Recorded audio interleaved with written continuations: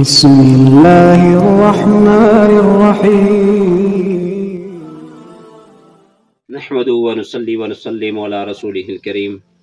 اما بعد، بسم اللہ الرحمن الرحیم اللہ رب العزت کا بڑا کرم اور احسان ہے کہ اللہ تعالیٰ نے ہمیں انسان بنایا، حضرت محمد مصطفیٰ احمد مشتبہ کی کوثر شافی محشر صلی اللہ تعالی علیہ وسلم کی امت مبارکہ میں پیدا فرمایا۔ اور امت اجابت میں اللہ تعالیٰ نے ہمیں پیدا فرمایا۔ ایک امت دعوت ہے، ایک امت اجابت ہے۔ امت اجابت وہ ہے جس نے نبی اکرم صلی اللہ علیہ وسلم کی لائی ہوئی شریعت کو اور آپ کی رسالت کو، ختم نبوت کو مانا۔ دوسرے الفاظ میں، مسلمان جو ہیں وہ امت اجابت میں ہیں۔ اللہ نے ہمیں امت اجابت میں پیدا فرمایا۔ نبی اکرم صلی اللہ علیہ وسلم کی امتی ہونے کے ناطے سے اللہ تعالیٰ کی طرف سے احکامات ہم پر جو فرض ہوئے ہیں، ان کو زندگی میں بجا لانا یہی ہماری زندگی کا مقصد ہے۔ اور جب ان پہ ہم احکامات پہ نبی اکرم صلی اللہ علیہ وسلم کی سنتوں پہ اس دنیا میں چلیں گے، تو اس میں دنیا کی عزت بھی ہے اور آخرت کی کامیابی بھی ہے۔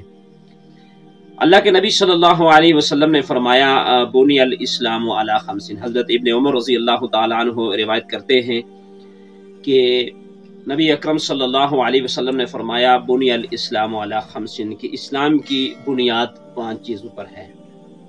شہادت اللہ الہ الا اللہ و ان محمد عبدہ و رسول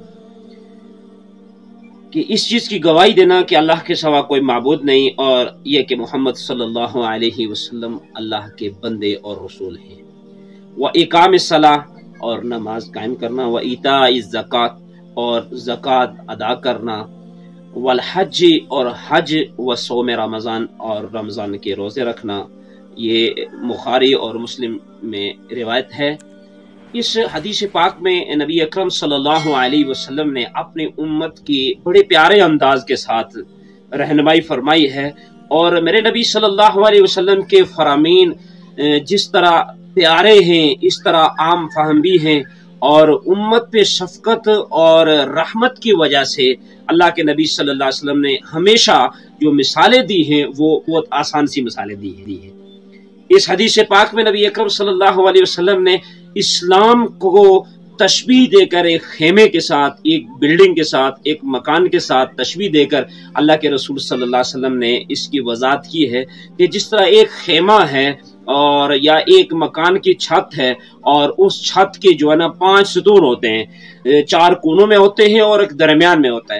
جو درمیان والا ہوتا ہے تو اس پہ تو وہ پورا خیمہ کھڑا ہوتا ہے۔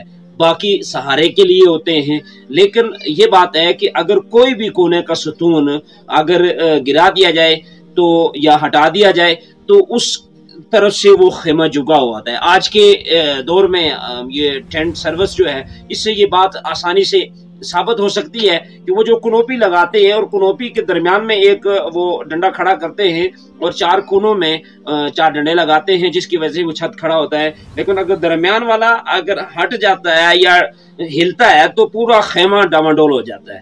اس لیے اللہ کے نبی صلی اللہ علیہ وسلم نے ایک پیاری مثال پیارے نبی نے دی ہے کہ اسلام کی جو ہے نا، مثال ایک خیمے کی طرح ہے، ایک عمارت کی طرح ہے۔ اور اس کی جو درمیانی جو ستون ہے نا وہ لا الہ الا اللہ محمد رسول اللہ ہے یعنی اللہ کی وحدانیت کا اور رسول اللہ صلی اللہ علیہ وسلم کی نبوت اور رسالت کا اقرار کرنا ہے۔ اور باقی چاروں کنوں میں نماز ہے، زکوٰۃ ہے، حج ہے اور روزہ ہے۔ ان سب پہ عمل پیرا ہونا جو انسان ان سب ستونوں کی مکمل طور پر رعایت کرے گا اور ان کی تعمیر کرے گا، ان کی حفاظت کرے گا وہ انسان گویا کے پورے کا پورا فصل میں کافا کے تحت پورے کے پورے اسلام میں آ گیا ہے، اس کے لیے کامیابی ہے۔